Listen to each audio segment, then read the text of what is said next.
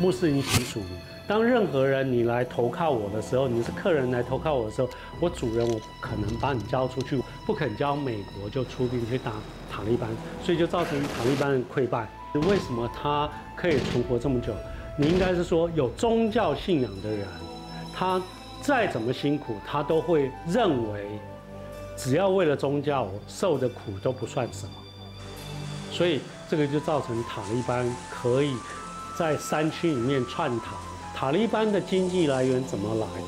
其实塔利班我们后来去查的话，它一年差不多有十六亿美元的收入，那里面包含贩卖毒品。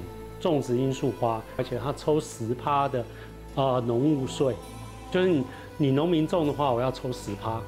那罂粟花收成以后，提炼出所谓大麻或者这些呃毒品的时候，他又帮忙运输。那还有塔利班又那个绑架绑架人、绑架有钱人，要求赎金。啊，那还有就是苏联也给他很多的经济上面的援助。